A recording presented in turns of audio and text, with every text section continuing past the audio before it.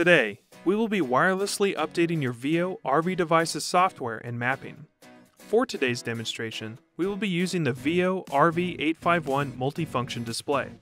Your internet connection will play a part in the success and speed of the update process. Public Wi-Fi networks, such as those available at RV parks, big box stores, and business chains, may have very slow connections, or security measures that slow or stop downloads. It is important that the installation process not be interrupted. To begin, select the menu icon.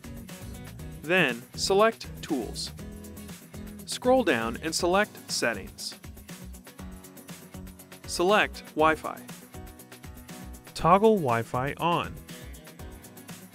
Select your desired Wi-Fi network and enter the password if prompted.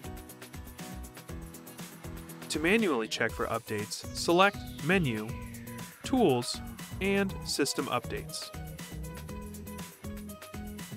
Your device will automatically search for available map and software updates.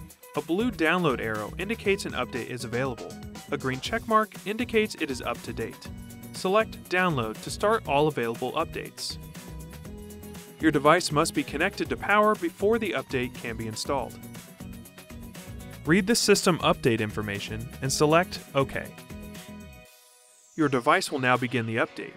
Make sure your vehicle is parked in a safe location with steady power and a strong internet connection.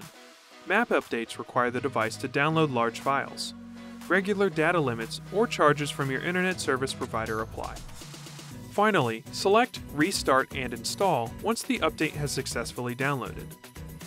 Read the important installation notes and select OK. Read the system update information and select OK.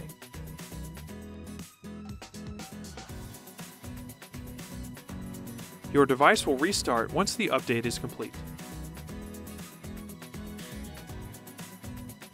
And that's it.